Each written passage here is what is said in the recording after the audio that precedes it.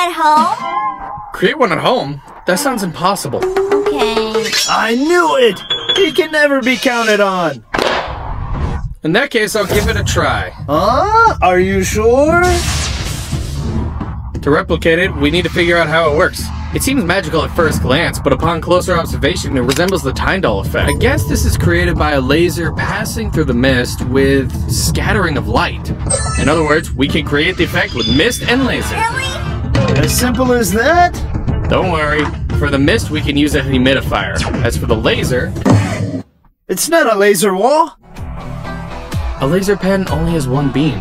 To generate a laser wall, we need numerous laser pens, which is obviously impractical. Oh, sweating now, huh? What device can produce a laser wall? Hey, I got an idea. I saw a tool used by construction workers which can produce a laser wall to help them align the walls. Let me find one. We have the laser now. All we need to do is turn off the lights and let the laser shine on the mist. Let's enter the world of science.